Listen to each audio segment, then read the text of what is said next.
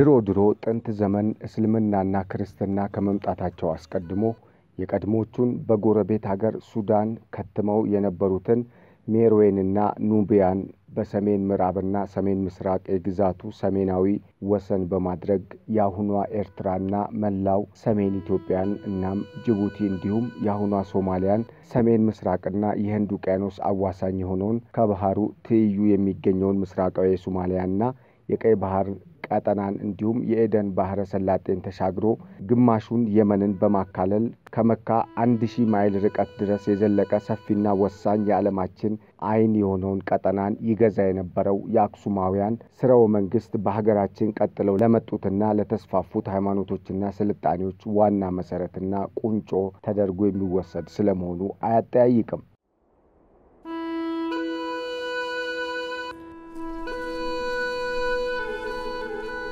ይህን የታሪክ ድርሳን ማውሳታችን ታዲያ ያለምንም አይደለም። ይልቁንም የታሪካችን አካል የሆነውን የእስልምና ሃይማኖት ከመጀመሪያዎቹ ስደተኞች ሶሃቦች ወይም የነቢዩ ሙሐመድ ቤተሰቦችና ባልደረቦች ወደ ኢትዮጵያ ለዛውም ትግራይ የመጡበትን ታሪካዊ ዳራና ለመምጣታቸው ምክንያት የሆነውን ቁም ነገር ለመዘከር ጭምር እንጂ።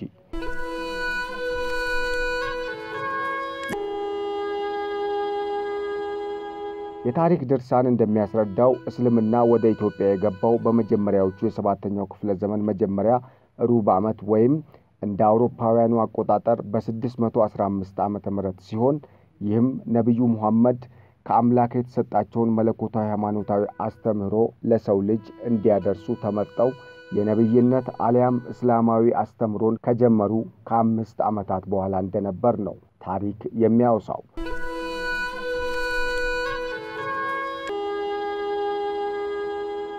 ይህም በ615 ዓመተ ምህረት እንደ አውሮፓውያን አቆጣጠር ሲሆን ወቅቱ በአረቡ ዓለም አዲስ የሃይማኖት ብርሃን የፈነጠቀበትና በአንጻሩ የእስልምና ሃይማኖት የወቅቱ ተጻራሪዎች ከነበሩት የአረብ ጎሳዎች መካከል በመልእክተኛውና በተከታዮቻቸው ላይ ከፍተኛ ጫናና ጭቆናን ሲያደርጉ የነበሩት የቁረይሽ ጎሳዎች ሲሆኑ በጊዜው የእስልምና አስተምህሮ ገና እየተስፋፋና እምብዛም ተጽዕኖ ፈጣሪ ባልሆነ አሊያም ገና በማቆጥቆጥ ላይ የነበረ በመሆኑ ምክንያትም በመልእክተኛውና በቤተሰቦቻቸው በተለይም በተከታዮቻቸው ላይ የሚደርሰው የመከራ ወጀብ፣ ፈተና፣ ማህበረሰባዊ መገለል እጅጉን ከባድ እንደነበር ታሪኩን ሳያዛንፉ የከተቡ የታሪክ ምሁራን በተከበረው የታሪክ ድርሳን በግልጽ አስፍረውታል።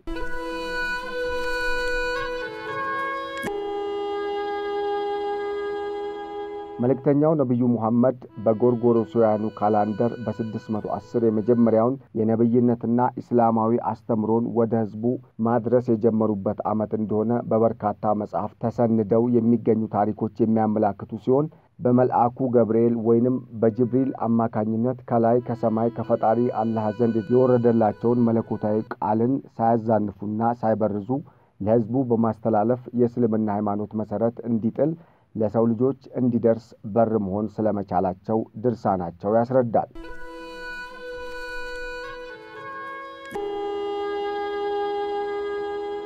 ታዲያ ጣዖትና አምላክ ቁርአንና በወቅቱ በአረቡ ዓለም ተስፋፍተው የነበሩት የተለያዩ በሰዎች ተጽፈው የነበሩት መላምታዊ ልብ ወለዶች ለየቅል ነበሩና በመልእክተኛው በኩል ለሕዝቡ የሚተላለፈው ቁርአናዊ የሃይማኖት አስተምሮ ባለብዙ ጣዖታት ለነበሩት የወቅቱ ጃሂል የአረብ የጎሳ መሪዎችና ነጋዴዎች እንዲሁም የጦር አበጋዞች እረፍት የሚነሳ ሆነባቸው።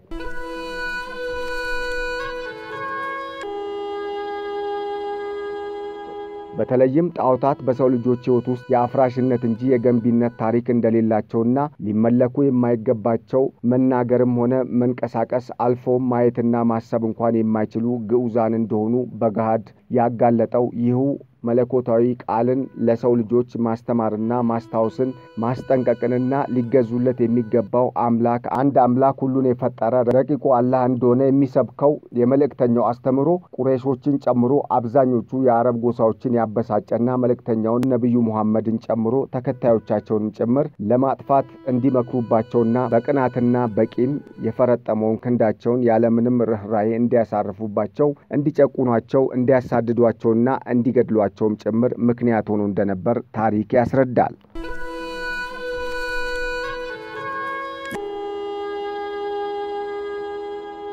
በወቅቱ ሁኔታው አሳሳቢና ጊዜ የሚሰጥ ባለመሆኑ ምክንያትም ነቢዩ ሙሐመድ ተከታዮቻቸውን በመካ የሚደርስባቸውን ግፍና ስቃይ በደንብ ከተገነዘቡና በውል ከተረዱ በኋላም ወደ ምድረ ቀደምት ሀበሻ አገር ሂዱ፣ በዚያ ማንንም የማይበድል ፍትሐዊ የሆነ ንጉሥ አለላችሁ ሲሉ ነው የላኳቸው።.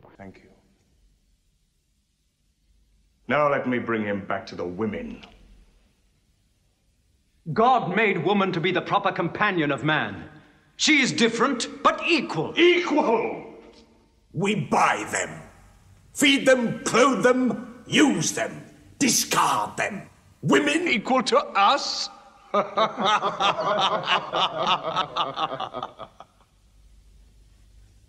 God created man from one male and one female. Amr, you must respect in all women the womb that bore you. Why are your 300 gods so tongue tied? While his only god is elephant. God has spoken to us before. Through Abraham, Noah, Moses, and through Jesus Christ. Why should we be so surprised that God speaks to us now through Muhammad? Who taught you those names? They are named in the Quran.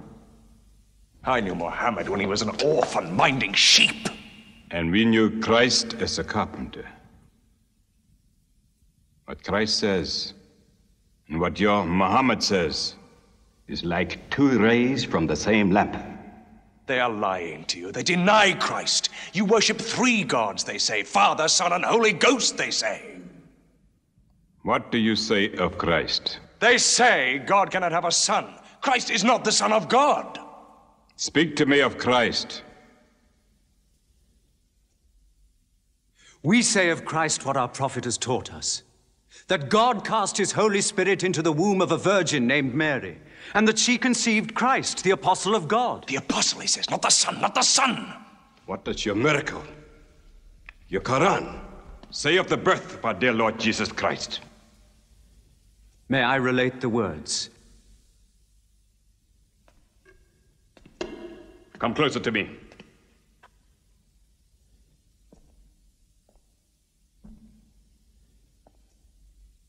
In the name of God, most gracious, most merciful.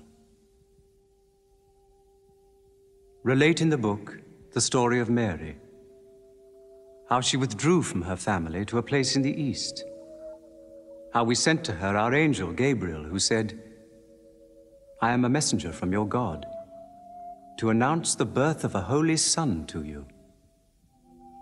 She said, How shall I, Mary, have a son when no man has touched me? And Gabriel replied, For your Lord says, It will happen. We appoint him as a sign unto man and a mercy from us. It is a thing ordained.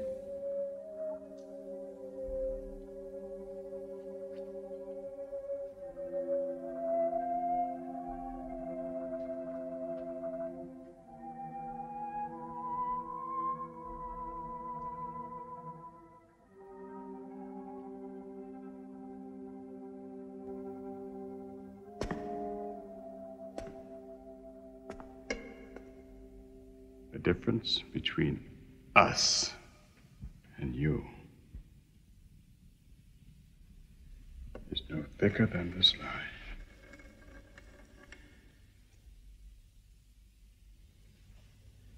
Not for a mountain of gold will I give them up to you.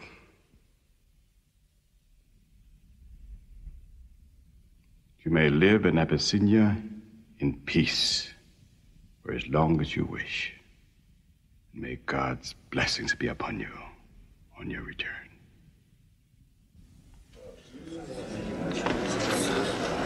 በቁጥር በዛ ያሉ የሀበሻና የምዕራቡ እንዲሁም የአረቡ ዓለም ጸሐፍት ይህንኑ ታሪካዊ ወቅት በሚመለከት ሲጽፉ በወቅቱ መልእክተኛው ነቢዩ ሙሐመድ ከቤተሰቦቻቸው የተወሰኑትን ማለትም ልጃቸው ሩቅያን ባለቤቷንና በወቅቱ የመልእክተኛው ተወዳጅ ተከታይ ወይም ደቀ መዝሙር የነበረውንና በኋላም ሦስተኛው የሙስሊም ካሊፌት መሆን ችሎ የነበረውን ኡስማን ኢብን አፋን፣ አቡ ሰላማ፣ አብደላ ኢብን አብዱል አሳድ፣ ዙቤር ኢብን አል አዋም፣ አቡ ሁዜፋን ኡስማን ቢን ማዕዙን፣ ሳህላ ቢንት ሱሃይል የአቡ ሁዜፋ ሚስትን፣ ለይላ ቢንት አቢ አስማህ የአሚር ሚስትንና አሚር ቢን ረባሃ እና ሌሎችንም ያካተተ ኢስላማዊ የሰሃባ ተጓዦች ቡድንን ወደ ምድረ ቀደምት ሀበሻ ኢትዮጵያ ሲልኩ አንድም የመካ ቁሬሾችን ግፍና መከራ ለመሸሽ በሌላ በኩል ደግሞ የሰሰናውያን ኢምፓየር ወይንም ሁለተኛው የፐርሺያውያን ኢምፓየር በሚል ስያሜ ይጠራ የነበረውን በመጨረሻው ኢራን ሻር በመባል የሚጠራውን የፋርስ ኢራናውያን ኢምፓየር በ614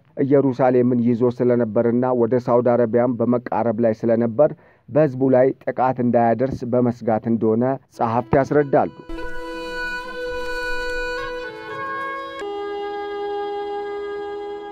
በጊዜው የዞራስትሪያኒዝም ሃይማኖት ተከታይ የነበሩት ፋርሶች ገና እያቆጠቆጠ ካለው ኢስላም ይልቅ በምድረ በዳማው የአረቡ ዓለም በተለይም በደቡባዊ የመን ግዛቱን አስፋፍቶ ለነበረው የሂማራይት ስርወ መንግሥት ድጋፍን ሊያደርጉ ይችላሉ ብለው በማሰብ ተከታዮቻቸውን ወደ ሀበሻ ሲልኩ ምንም እንኳን መቼ ተደረገ በሚለው የቀንና የዓመተ ምሕረት ልዩነቶች ቢኖሩም ሙስሊም ሷሃቦች ወይንም የመልእክተኛው ደቀ መዝሙሮች ወደ ሀበሻ ምድረ ቀደምት ያደረጉት ጉዞ በሁለት የተከፈለ አሊያም ሁለት ጊዜ የተደረገ ስለመሆኑ የታሪክ ጸሐፍት የሚያመሳክሩት እውነታ ነው።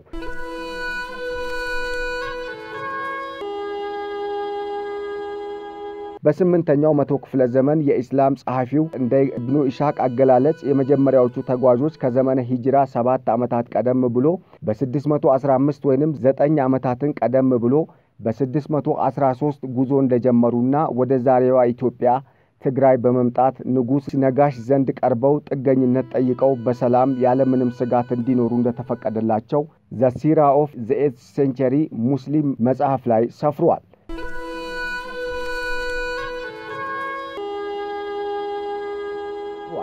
በዚህም የመጀመሪያው ጉዞ አስራ ሁለት ወንድና አራት ሴት እንስቶች ከመካ ወደ ምድረ ቀደምት ሀበሻ ወይንም የዛሬዋ ትግራይ መጥተው እንደነበር የሚያመላክት ሲሆን ሹወይባ ከተሰኘችው የወደብ ከተማ ለእያንዳንዳቸው ግማሽ ዲናር ክፍያ ከፍለው የቀይ ባህርን እንደተሻገሩና ወደ ምስራቅ አፍሪካዊቷ የቀደምቶች ምድር ትግራይ መግባታቸውን የታሪክ ድርሳኑ ይዘረዝራል።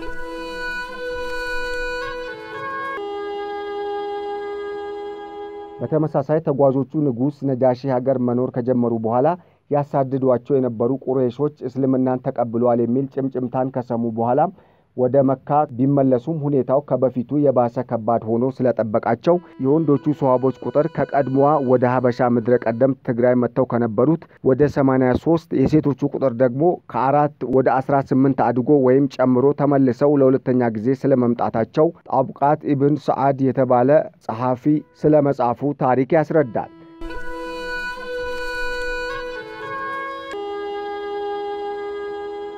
ያም ሆነ ይህ ዋናውና ውሃ የሚያነሳው ቁም ነገር መልእክተኛው ነቢዩ ሙሐመድ በአደራነት የላኳቸውን ተከታዮቻቸውን ንጉሥ ነጋሽ እንዴት አድርገው ተንከባክበውና ምንም አይነት የደህንነት ስጋት ሳይሰማቸው በሰላም እንዲኖሩ የፈቀዱበትና ያኖሩበት ወደ ሰፊነትና መልካምነትን ማሳየት ነው።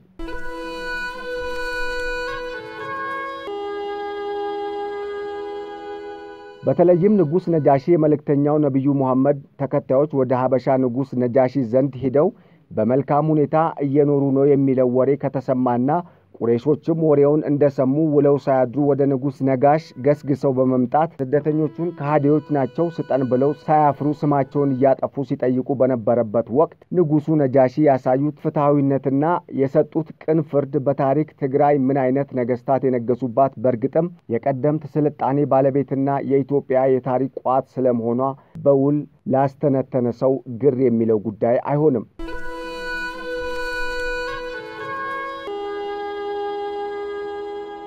የመልእክተኛውን የነቢዩ ሙሐመድ አደራና እምነት የጠበቀ ለአደራውም ከነቢዩ ምስጋና የተቸረው የተከበረው ፍትሐዊ ንጉሥ ነጃሽ የነገሰባት ምድረ ቀደምት አንዳንድ ሊቃውንት እንደሚሉት በሰዋቦቹ መምጣት ምክንያት እንደተባረከችም ጭምር የገለጹበት እውነት ያለ ሲሆን ይህ ሀቅ ትግራይ በዘመናት ቅብብሎሽ ይህንን አኩሪ ታሪክና የነቢዩን ታሪክ ክብር ሰጥታ ወደፊትም የበለጠ ተንከባክባ ጠብቃና ተንከባክባ ማኖር እንደሚገባት የሚያሳይ ነው።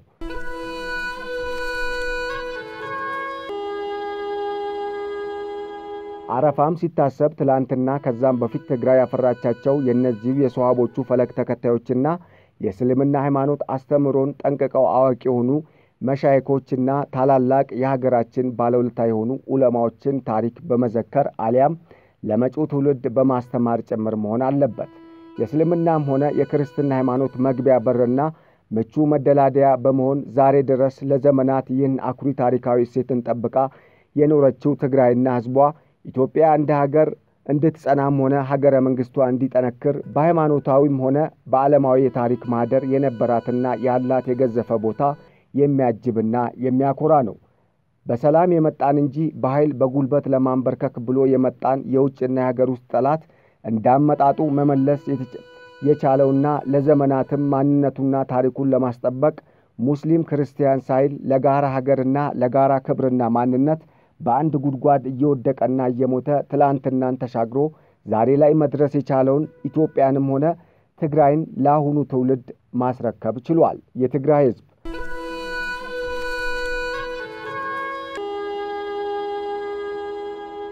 ምንም እንኳን ዛሬ ባለንበት ዘመን ለትንሽ የፖለቲካ ልዩነት እንደ ነጃሺ፣ አክሱም ማርያም ጽዮንና ሌሎች በርካታ የትግራይ ሕዝብና የመላው ኢትዮጵያ ሕዝብ የታሪክ ማዕከል የሆኑ ቅርሶችንና ታሪካዊ መዳረሻዎችን ባለጊዜዎች እንዳሻቸው በቦምብና በድሮን ደብድበው ቢያፈራርሱትና ሊያውድሙትም ቢሞክሩም ታሪክ ሰሪ ትውልድ የወለደው የትግራይ የቁርጥ ቀን ጀግና ወጣት ወጥቶ አደር ሕይወቱን ሰጥቶ በከፈለው ውድ የማይተካ መሥዋዕትነት ሕዝቡን ከጠቅላላ እልቂት ትግራይንና ምድሯን ደግሞ ከጠቅላላ መቀራመትና ሐራጅ ሽያጭ ሊያተርፋትና ትግራይ ጥቂት አፍራሽ አስተሳሰብ ያላቸው የታሪክ ቀማኞች እንደሚያስቡት ጠፍታ የምትቀር ሳይሆን ዛሬም የኢትዮጵያ ታሪክ የኢትዮጵያ የታሪክ አስኳልና የቀደምት ስልጣኔ መነሻ መጠንሰሻ የአፍሪካ በር ሆና በመናገሻ ታሪካዊ ቦታዎቿና እንደ ነጃሺ መስጂድን በመሰሉ ጥንታውያን የእስልምናና እንደ አክሱም ማርያም ጽዮን በመሰሉ